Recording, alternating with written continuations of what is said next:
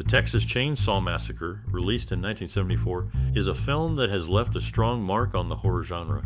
Directed by Tobe Hooper, this movie takes you on a terrifying journey with a group of friends who encounter a family of cannibals in rural Texas.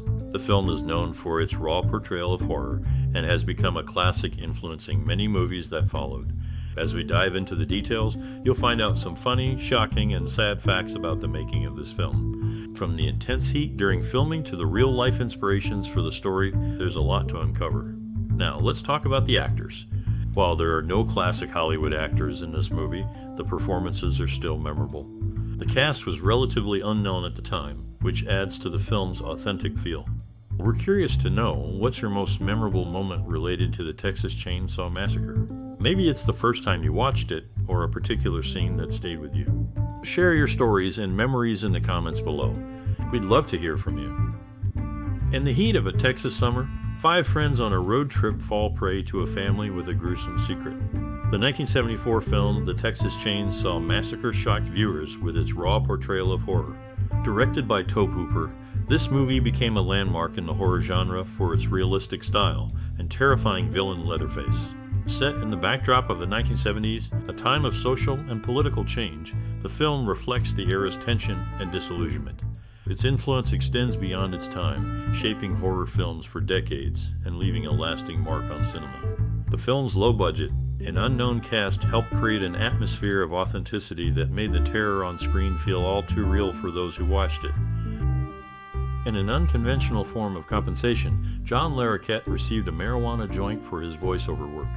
On set, Gunnar Hansen was instructed to portray Leatherface in a state of frenzy, resulting in an impromptu chainsaw dance that became a memorable part of the film's climax, despite an earlier version being excluded. Daniel Pearl and Tobe Hooper, facing opposition from producers, insisted on including a now celebrated shot in the film. Despite threats of dismissal, they stood their ground, ensuring the shot's inclusion, which contributed to the film's lasting visual legacy. In a moment of frustration during holiday shopping, director Tobe Hooper envisioned the concept for a horror film as he navigated through a busy store, his eyes landing on chainsaws. This idea took a macabre turn when the set was adorned with animal remains sourced from a veterinarian, which were later disposed of by incineration behind the house. The film's intense atmosphere even affected the cast, with actor Gunnar Hansen channeling his own exhaustion into an unscripted, yet iconic scene where he swings his chainsaw in anger, a raw display that was captured on film and made it into the final cut.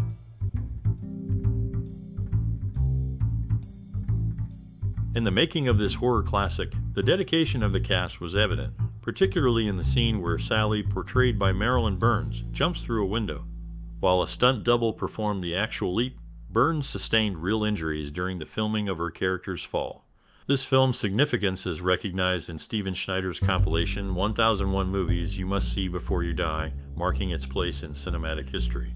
Furthermore, the antagonist Leatherface became a cultural icon, inspiring numerous professional wrestlers to adopt the persona in various promotions around the world, with the character even being reimagined as Super Leather in Japan's frontier martial arts wrestling. These elements together highlight the film's lasting influence beyond the silver screen.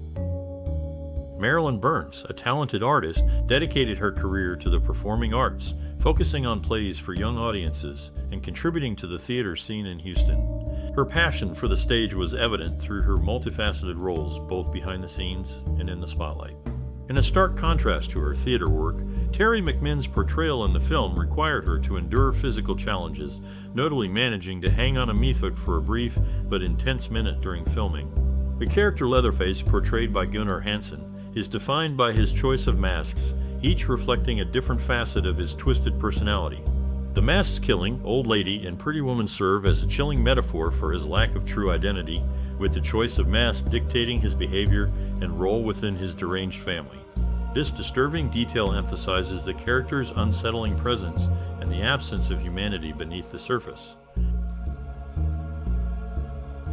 Despite its chilling presentation, the film is a work of fiction, crafted before the supposed real events it portrays. Ed Gein's dedication to his role was so intense that it nearly led to an accident on set, reflecting the high tension during production. The actors Teri McMinn and Gunnar Hansen were compensated modestly for their performances, with McMinn receiving 700 and Hansen slightly more, highlighting the budget constraints typical of such films. In the process of revisiting and reshaping a horror narrative, Gunnar Hansen was involved in casting and rewriting the last horror picture show as of November 2005. Despite his significant role in providing narration for three films and a well known horror series, John Larroquette did not share the enthusiasm for the genre, admitting to never watching the films he narrated. On set, the intensity of the production was reflected in the physical state of Marilyn Burns' costume, which, after days of filming with fake blood, had hardened to the point of rigidity. In the making of this horror classic, authenticity was inadvertently achieved during a harrowing chase scene. Marilyn Burns, portraying the sole survivor, navigated the underbrush in terror, sustaining real injuries. Consequently, the blood scene on her was not entirely fabricated. Meanwhile, Tobe Hooper sought a specific gravitas for the film's opening narration, reminiscent of Orson Welles' distinctive timbre.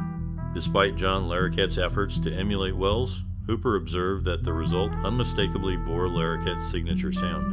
The character Leatherface, infamous for his macabre mask, drew inspiration from Ed Gein. However, Gein's criminal history diverged from typical. This film holds a significant spot in cult cinema, securing the sixth position in a major publications list of all time favorite cult films. The casting of its antagonist was a point of contention. Gunnar Hansen initially declined the role due to the film's intense violence, but was convinced to participate by his friend and co star Marilyn Burns.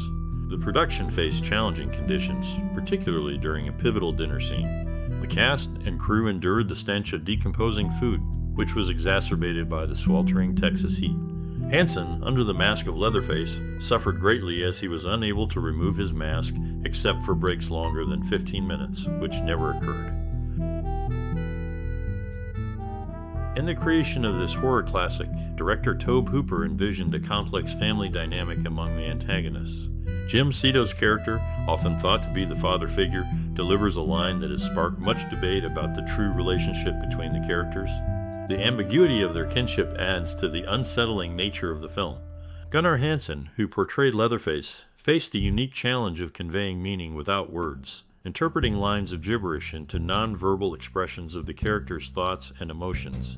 A particular scene demanded a retake when Hansen's portrayal was deemed too articulate, as Hooper wanted to maintain the character's raw, unrefined presence.